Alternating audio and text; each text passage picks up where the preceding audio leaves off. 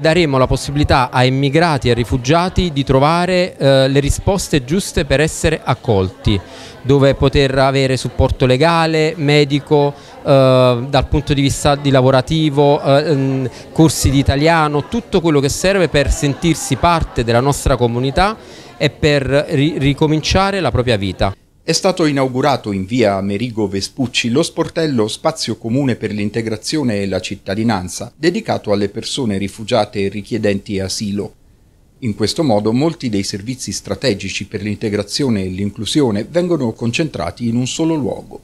Questo è un luogo di tutti, di tutte, della consulta degli immigrati soprattutto, di tutte le associazioni che si occupano di immigrazione di rifugio e di rifugiati e siamo felici perché eh, diamo lo spazio a un bene confiscato eh, completamente ristrutturato grazie ai fondi della Regione Campania e iniziamo delle attività in maniera operativa eh, per il bene dei cittadini da anni che abbiamo chiesto uno spazio che possa accogliere le esigenze della, delle associazioni che si occupano dei immigrati e specialmente delle diaspore che, che, che, stanno su questo territorio. Quindi per noi è una gioia immensa oggi inaugurare questo spazio comune, comune perché è di tutti. Grazie mille. Lo sportello Spazio Comune è allestito in un locale confiscato alla criminalità organizzata. È un bene che rientrava nel patrimonio della Camorra eh, poi viene restituito alla società civile. Eh, questo è il nostro obiettivo, è l'obiettivo che l'amministrazione comunale vuole portare avanti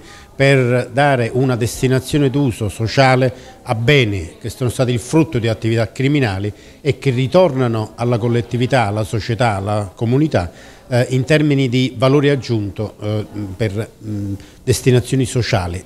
Il progetto rientra nel programma nazionale dell'Agenzia per i rifugiati delle Nazioni Unite con le principali città italiane che hanno sottoscritto la Carta per l'integrazione. Bellissima iniziativa che il Comune di Napoli sta portando avanti insieme all'UNHCR che mira all'integrazione dei rifugiati in questa città eh, che fa parte di un gruppo di, di, di, altre, di altre città, di altri comuni che hanno preso a cuore l'importanza dell'integrazione dei rifugiati, che è una cosa estremamente importante per i rifugiati, ma ancora di più eh, per, per, per, per, la cittadinanza italiana, per assicurare che le persone possano veramente essere parte integrante de, de, della nostra società e contribuire ad essa. Ci sono più di 60.000 immigranti ai comuni di Napoli. Ehm, per quasi eh, 40 anni di vita più maggioranza immigranti non trovato un spazio per la, un riunioni, un raccolta, un sportello, però per il momento è risolto questo problema. Andiamo avanti così più forte.